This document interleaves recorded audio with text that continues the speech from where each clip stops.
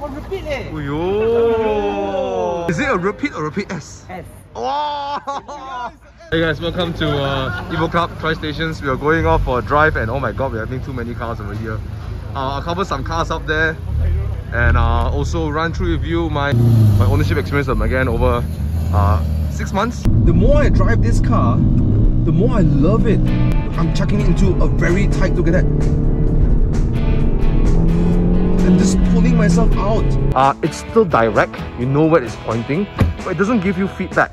So just bugs the hell out of me. I just want to show you something really awesome. Look at that. That's an NSX. Oh, when I saw this car, I couldn't believe my eyes. I thought I was sleeping.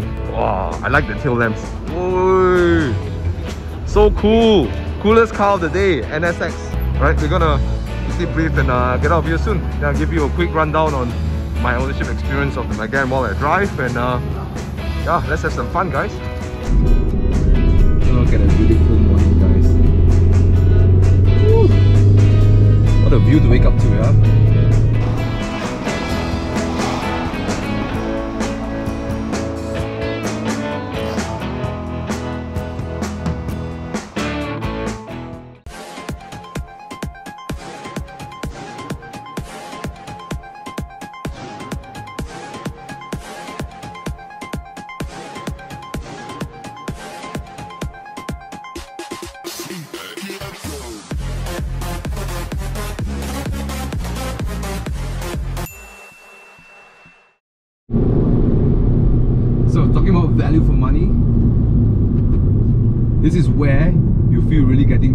Money for your Megane. it's this twisty roads. It's hard to tell like what have you bought just by driving around the city, going on the highway. It feels like an, an average car, you know, like a like a Vios, you know, maybe a Yaris. I mean, except for the power band, but you know, but generally the the feeling does not give you the elevated sense of like luxury. But because this car isn't a luxury, Meganes are common man cars in uh, in Europe. It's what people would drive to commute to work, you know. And then the RS is just a more aggressive race version of it. It's talking about this. This is race. Yes. Uh, I came to conclude that Megane is a this this chassis design is a racing chassis. Not even sports. I mean, look at the way it takes corners. It's just look at that. Just effortless, like an athlete. And it's enjoyable too. It's just not all so serious and no fun. It is very enjoyable too. Look at this turn in. I can power down so early and send the car out from the corner. It's ridiculous.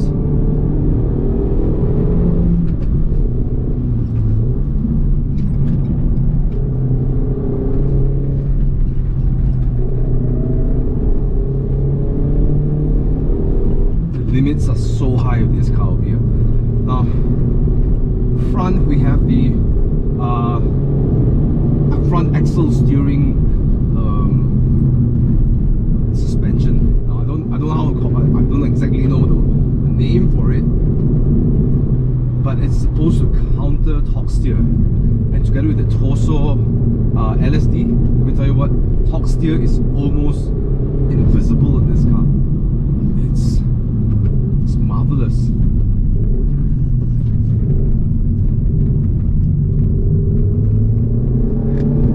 See, I'm full throttle down, no torque steer, 280 horsepower, 380 millimeters of torque, and zero torque steer.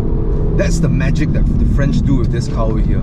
You can drive it precisely, you have to manage that torque steer in the front end, which is normal for most front-wheel drive cars.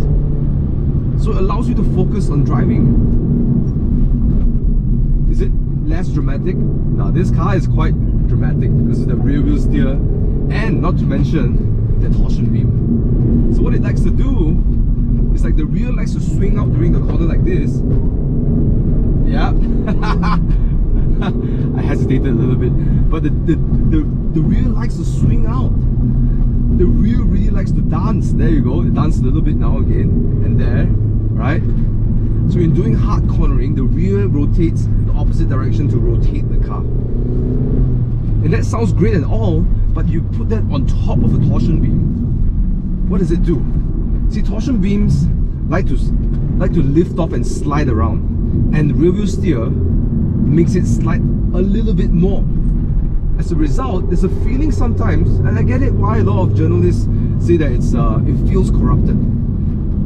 It, it does feel corrupted. It feels like something else is working the car. But after you get used to it, I mean, look at that.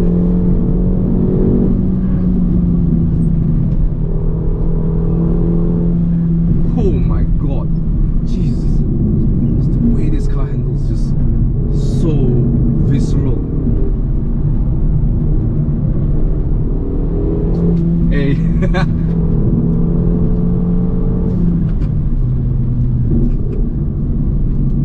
Such a visceral feeling.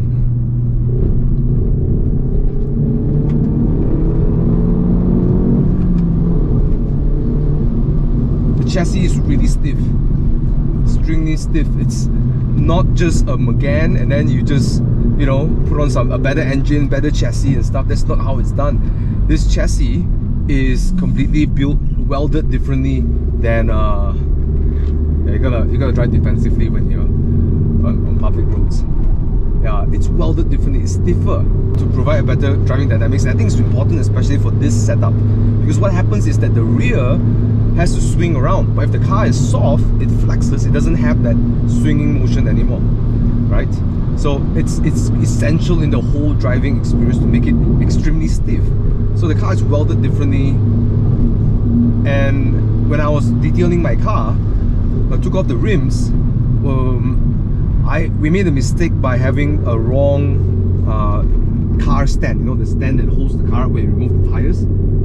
So three of the stands, front and the left, the front two and then the, the back left, uh, were from one brand, and the rear right was from another brand. Normally, a normal car would flex down, right? But it was stiff, like straight stiff. And I was climbing in and out of the car doing the interior detailing and stuff. My god, the car just holds on. That is insane stiff, isn't it? But that's what Meganes are. Megane RS, right? The RS is not just for show. It's not a badge to to prove that oh, you know, this is a better car than yours. It's, it's legit all about performance. You can feel every bit of it in the car. It's continued to wow me and wow me. You know, I thought the more I drive this car, the more I love it. It's very addictive. It's it's unique. It doesn't drive like a front wheel drive car. Not at all. This is the thing, the car doesn't I'm chucking it into a very tight look at that. I'm just pulling myself out. Almost full throttle and the car just goes. Look at that. So much confidence. But this is my conclusion about the Megane after driving it for a while. See there, I feel like a lot of the manufacturers, the Germans, the Japanese, all of them are sort of, you know, you know, not like when you're in a classroom and uh, everyone is like uh, copying each other's work.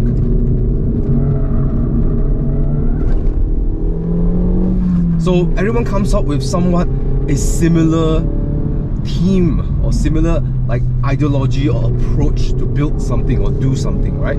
And that's what's happening with a lot of the common hatchbacks around, even the performance ones, right? I mean, think about it. Multi-link suspension in the rear, right? Uh, big power plant, a lot of boost down low, uh, all-wheel drive. This is they're trying to create this stability of the car around corners, like it's a sedan, you know. And I think that's good, you know, because you get that stability, you get to push the car a little bit more. But the Megane has different ideas. the RS engineers, I feel they did everything completely different than what the others would have done. Power plant is 1.8, yes, 280 horsepower. That is not the point. The point is that they put all the boost, it builds up to the end of the top band.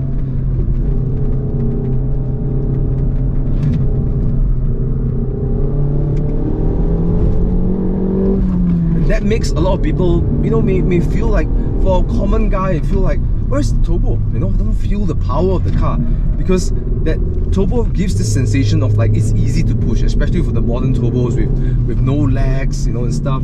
You know, all the top bands are below.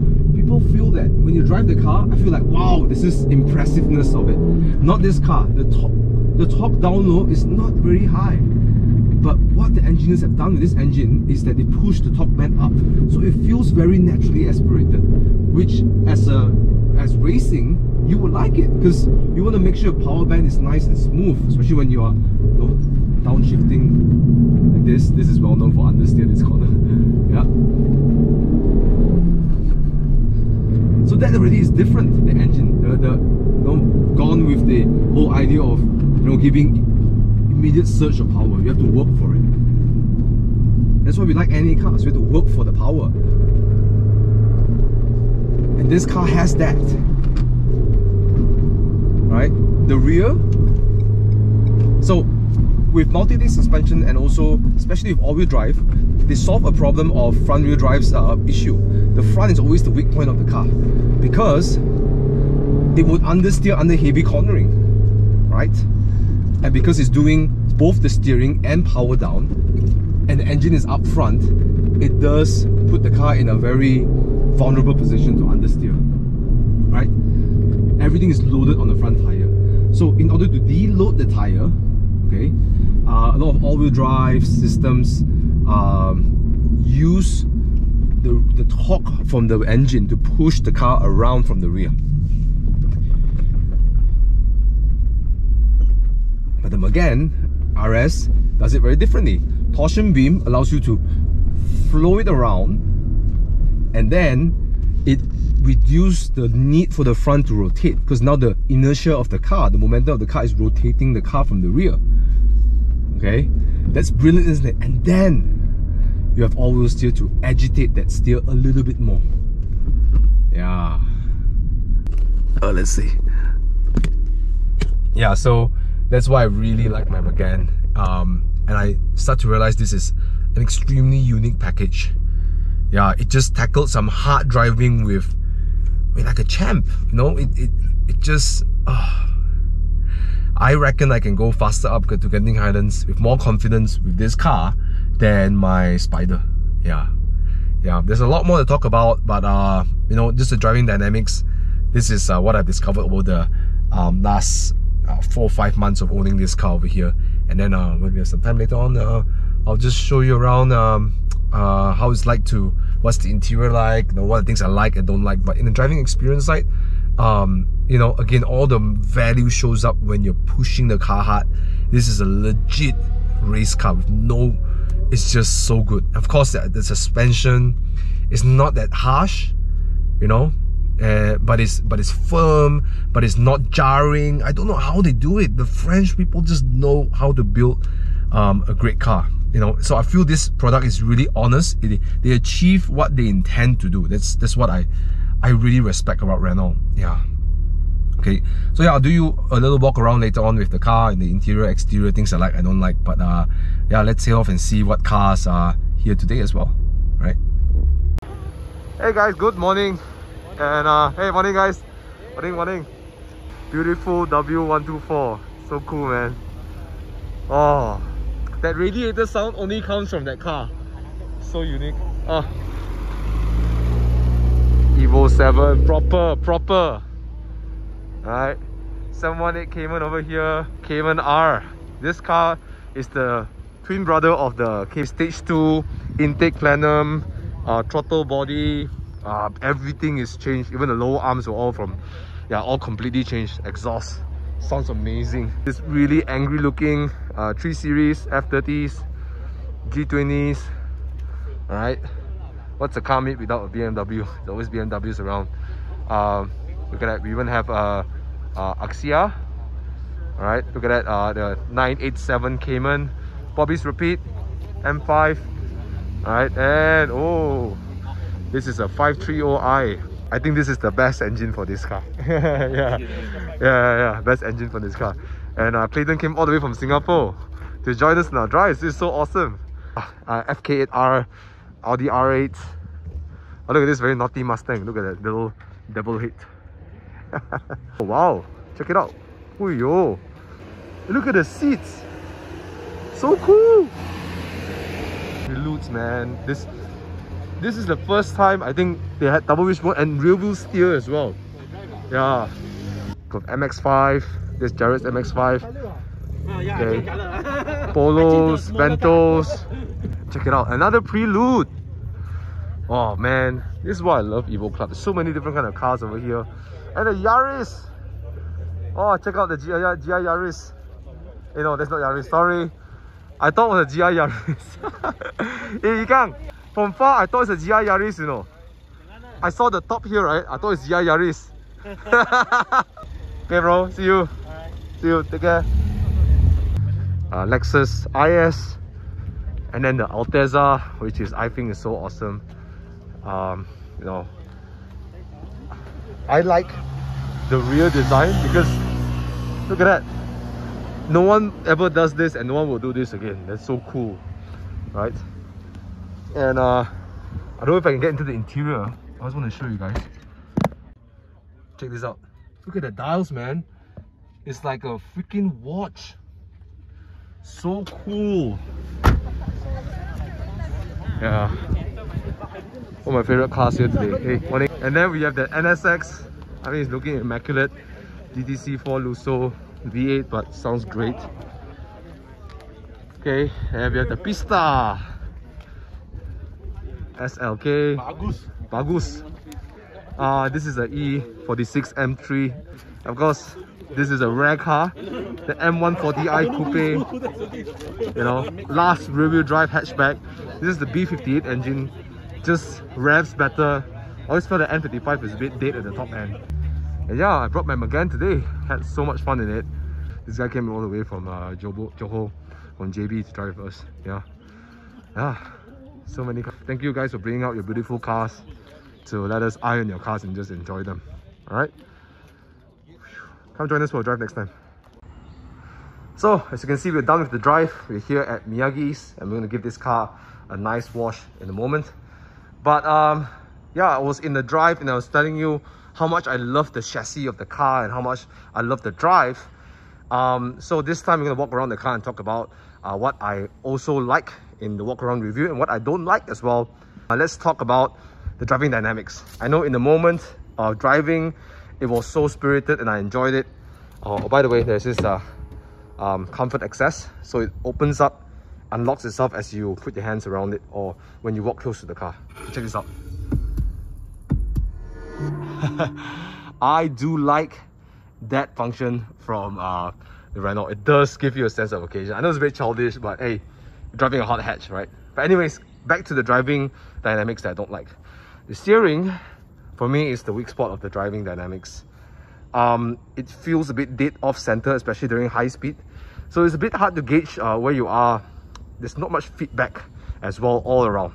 But in the dead center is what's really a bit not so, it doesn't inspire confidence. Uh, it's still direct, you know where it's pointing, but it doesn't give you feedback. So you, you're a bit hesitant sometimes because you're not sure whether the front is going to break traction or not. It has a very high traction limit, but of course it's nice to know when the traction is breaking. So I wish I had a little bit more feedback, and especially in the wet, I, I think that's very important. However, you get a lot of feedback through your butt because um, the chassis is stiff, suspension is really communicative um, and uh, even this is the sport seats this is not the actual Recaro seats it does give you some sort of stiffness in it. So you can still feel it without making it too jarring. Of course the full-on Recaro seat will give you even more feedback. So yeah I, I think it's still okay because you can still rely on your butt and your body to tell how far the traction is. But regards to wet grip um, the best is to have some steering feel so you know where you are at the limits. So that's kind of bit of something that I learned to not like too much about the car. Okay, now uh, on to the interior. I'll tell you what I, that irritates me a lot. uh, this thing guys it just bugs the hell out of me because it looks like carbon fiber. This is not actual carbon fiber it's a trim. Now i can accept this on plastic because it's solid right? But this this is a cloth. So it's soft and it looks like carbon fiber. I i don't know what they're doing. You know the french are very creative so uh, this is probably one of their honest creativity. I don't feel it. Uh, let me know in the comments what you feel about it but uh it doesn't do it doesn't work for me. It doesn't work for me at all. Yeah uh the other thing that i don't quite like as well as the pedal um positions. I find that the brake and the accelerator is a bit too near sometimes so it's a little bit hard to heel and toe in the beginning but you'll get used to it. Eventually it's all right uh clutch um it's a bit high but it's really light so it's nice for daily um so i have no complaints about that uh, the interior, uh, the build quality is not like Volkswagen standard. That's where Volkswagen really shines with the Golf. is It's really nice build quality. This one feels a little bit more akin to, uh, I feel, Toyota. There's nothing wrong with it. It's just, I mean, the Megane is a common man's car in, in Europe, right? So it's acceptable to have a quality like that. So it's not the, you know, you can hear it's a hard plastic, you know. So it's not the most luxurious interior okay? But space wise in the rear i've sat in the rear before. It's really spacious. This is my driving position. And uh, look at that. I have a ample amount of space. And the seats are not too upright. It's just nice. I feel nice lumbar support. So i do like this about the Megane it's very usable. It's very dailyable and uh, it's pliant the suspension is nice. A lot of my passengers felt that uh, it was quite comfortable sitting over here you know so no complaints at all. Even got a, a socket to charge your phone. Yep the rear is a nice place to be. Even got uh, cup holders. Uh, this is my daily. And i'm happily driving this car on daily basis. Very comfortable. Right? Um now one thing that i don't like uh, and some people might mind. Mm, to me it does bother me from time to time. It's the boot space. Uh, it's it's a bit shallow and i kind of get it because there's a reason for it right? Let me just uh, toss this aside and show you. Can you see that big box over there? Now what's that? That my friends is the exhaust of the car right? The exhaust is right there and why it works like that is because they got to make space with those diffusers. So diffusers are not just for show they're actual diffusers to actually generate uh, aerodynamics for the car okay? So they need space for that They got to shove that upwards. And in fact the exhaust kind of runs on top of the torsion beam and there the exhaust is over there. It does look now if you just look at this looks a bit lamborghini-ish but as a package it does look very nice. I think it suits the car. Yeah very daring design and i think it works out well. Again this is something what the french do they just do what they want to do. There's a lot of things that i like about the car actually more than the things i don't like about the car. Um, oh yeah i gotta show you this. I really gotta show you this. Another french genius design. Now if you look at this steering wheel there's this little um, knob over here please don't mind the sound again so this is your stock where you do your windows or your signal left and right, whatever, right? So down here you have this little thing here. At first, it really annoys me because it's like, ah, I got two things here and it's just kind of like, there's no pedal shifter because it's a manual, right? But after a while, I really like this. So check this out. You have the volume up, volume down. The mute button if you want it to be muted you can choose your mode but I can answer your phone over here telephone. Okay you can choose your source but I mostly use the volume button and also track up track down. Okay because one of the things that you use the most other than air conditioning is usually the radio. And what the French have done is that they make this little stock over here. I know the Peugeot do it as well now I hated it but I get it right now because when you're shifting gears your left hand is here you're not going to go and press the you know you want to make sure your hands are ready to shift gear if you need to shift or hold the steering, right? So you can keep both hands on the steering or one hand on the gear knob while you change your song or, or change the the volume and stuff. I mean, this is genius. I like it. I really, really like it. Okay, so that's pretty cool. Yeah. So yeah, you got a Apple CarPlay, which is great. Got a socket here, so I got um, my um, dash cam all up over there. Um, I do like this gear uh, handbrake design. You know, it's kind of quirky, but I, I get why they do it because they don't want it to be long. So it can be short, you know, and this lever over here. Uh, gear shift. Yeah, the gear shift, the challenge of the gear shift is that it's pretty narrow. So it's very narrow and it's very short. Now it can be a good thing, but you got to get used to it before you can start shifting fast because sometimes you go into like, I'm, I'm trying to go into like five, but I'm actually in three. So you got to really manage the space between it. So that's one of the things that I didn't like. Uh, glove compartment is really small. It's almost non-existent. but guess what? It's enough to fit me my uh, fire extinguisher, fire expirer, right? So yeah, these are the things that uh, I like and dislike about my car. But again, overall, the look is really growing on me. I was never a fan of big, bright colors. Oh yeah, it makes it sound when you depart the car, so which I like. It's very convenient. But uh, yeah, eventually I just fall in love with the car more and more. You know what? This is a great daily. I, I can't really think of a daily that packs so much fun. Um, it's practical and uh, it's very comfortable. At, at, least for me, it's really comfortable with the hydraulic bump stop. Um, for those of you watching, you don't know what it is. It's uh, it's a, a little hydraulic bump stop on top of the suspension to so you feel everything from the rope but the hydraulic bump stop uh, still transfers the communication but it kind of um, soften the, the the sharpness of the bumps yeah certainly has a price that slightly higher or maybe higher than the golf uh, because it is an rs rs is not in the range of say a golf in my opinion because rs is like equivalent to an m so it's not a GTI per se. Uh, but it's really, if you really look at it this way, this car is designed to be a racing car. That's how the chassis is designed. The engine tuning, the chassis, the brakes, everything is, is really a racing car. But it has some daily capabilities. So yeah, love it. Uh, as I stick to my opinion as well, it's not an easy car to drive. But once you get used to it, it has so much potential. Yeah. And God, I just love these lamps, the way the it goes inwards like that yep so there's a little review of my Megane and uh, hopefully this helps you decide if you're going to pick up a Megane for yourself I think you won't lose out much if you're getting the, uh, the EDC uh, you know it's still still very engaging to drive because the chassis is just so so fun to drive and that's why I get a Megane right variable fun race car sporty can't ask for more so this is a review of the car and I hope you enjoy it. If you want more content like this in the future, please help me hit the subscribe button. Don't forget to turn on the bell notifications and get alerts in the future about drives, about uh, you know whether it's a detailing video or reviews and stuff like that. But yeah, and uh, let me know in the comments what do you think about the Renault Megane RS. Uh, uh, if you don't pick this car, what else would you pick or would you pick this car? Right, so with that, thank you so much for watching and uh, shall see you another episode. As always, always take care, keep it 100%, love you guys.